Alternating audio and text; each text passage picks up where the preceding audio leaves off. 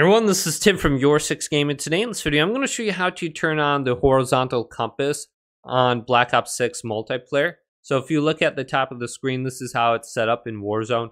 There's a constant like rotating number on the screen. Now by default, this is just set to your mini map. So what you want to do is press options, tab on over to interface, go to the gameplay HUD, R and press R1 to tab on over to this. And then we are looking for the compass type. So we want to switch this over to horizontal. So the default is minimap. If you look at your uh, minimap right now, it's just above that. It's a little bit more difficult to see, but you can definitely utilize that to call out people's position. So I'm looking at like 216.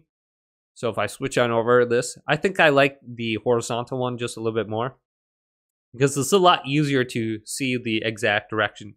I mean, like, all right, this is north.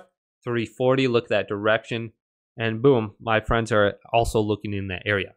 But hopefully this video did indeed help you out. Did, leave it a big thumbs up and subscribe my channel down below for more tech out videos coming up next on Your 6 Gaming.